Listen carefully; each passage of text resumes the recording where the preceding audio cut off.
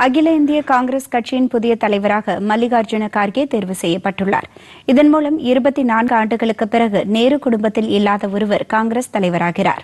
காங்கிரஸ் கட்சிக்கு புதிய தலைவரை தேர்வு செய்வதற்கான தேர்தல் நேற்று முன்தினம் நடைபெற்றது.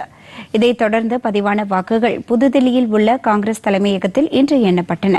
மூத்த தலைவர் மல்லிகார்ஜுன கார்கேவும் சசி தரூரும் களம் கண்ட இந்த தேர்தலில் ஏழாயிரத்து எண்ணூற்று தொன்னூற்றி ஏழு வாக்குகள் பெற்று கார்கே வெற்றி பெற்றார். அவரை எதிர்த்து போட்டியிட்ட சசி தரூருக்கு ஆயிரத்து எழுபத்தி இரண்டு வாக்குகள் மட்டுமே கிடைத்ததாக அக்கட்சியின் தேர்தல் குழு தலைவர் மதுசூதனன் தெரிவித்துள்ளார்.